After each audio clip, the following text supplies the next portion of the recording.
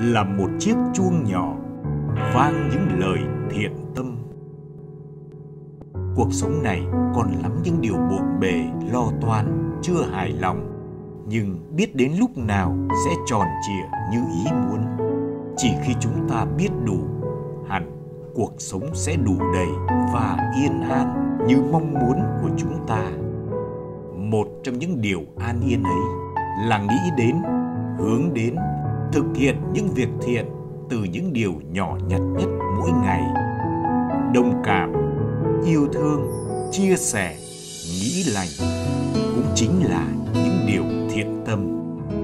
Và You Six chỉ mong là một tiếng chuông nhỏ ngân lên giữa cuộc sống bận rộn của quý vị như lời thò thẻ. Hãy sống chậm lại, lắng lòng mình và nghĩ về những điều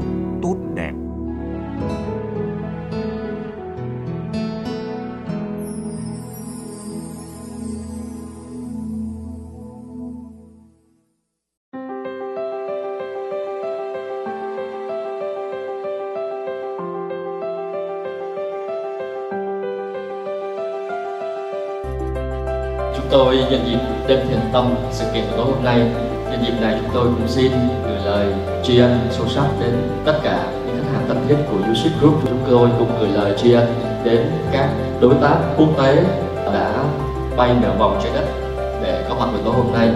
Tôi cũng xin à, cảm ơn toàn thể đội ngũ, nhân viên, tất cả các bạn hiểu gần xa đã hiện diện buổi tối hôm nay thể hiện cái tấm lòng yêu mến của tất cả mọi người sự kính nhiệm sự ủng hộ và yêu mến, sự nhiệt tình của các nhân viên chính là điều làm nên sự thành công của YouTube ngày hôm nay. Chúng tôi xin cảm cảm ơn tất cả mọi người một lần nữa.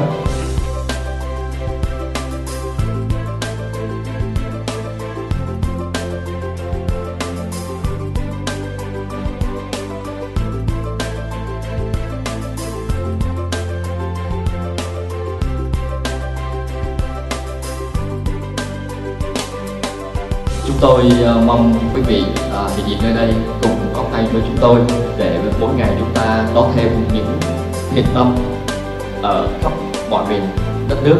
Một lần nữa chúng tôi xin ờ, kính chúc quý vị một buổi tối thật là ý nghĩa thật ấm áp và thật là thiện tâm.